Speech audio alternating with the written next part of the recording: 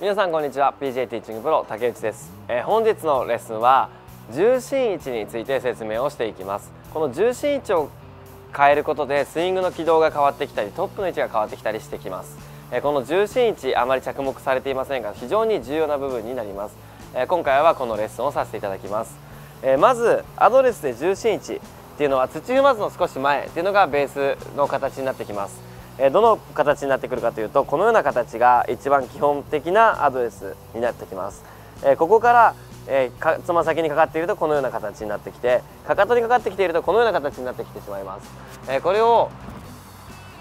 最適なポジションを見つける方法というのはアドレスを作ってから足の裏でですね前へ後ろとこのように状態を揺らしてみてください。このクラブを持たない状態でこのようにずらしていただいて真ん中に来た時に真ん中より少し前に来た時にストップする、えー、このような形が正しいポジションを見つける方法です、えー、今回はこの重心位置がだんだんだんだんこのように下がってきてしまって前に来てしまったり後ろに来てしまう。とどのようなスイングになってしまうかっていうのをまずは説明をしていきます。例えばつま先側に体重が乗りすぎてしまっている方というのはバックスイングで前に行こうとするともう前に倒れてきてしまいますので自分の中でバランスを取ろうとします。なので前に来ている方というのはバックスイングインサイドに引く傾向が強いです。え逆にかかとに来ている方というのはインサイドに引こうとすると後ろに倒れてしまいますので。かかとに来ている方というのは前にヘッドを出そうとする手を前に出そうとする傾向があります、え、なのでですねどうしてもクラブがインサイドに入ってしまうんですっていう方はですね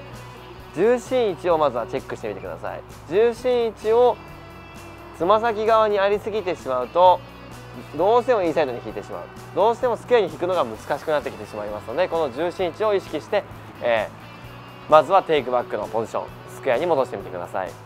重心位置を真ん中にセットしオンプレーにですねスイングを作れるということを意識していくことで、え、スイングは安定してきます。またフィニッシュでのバランスが取れないという方も最初のアドレスでの重心位置が悪い傾向が多いですのでチェックをしてみてください。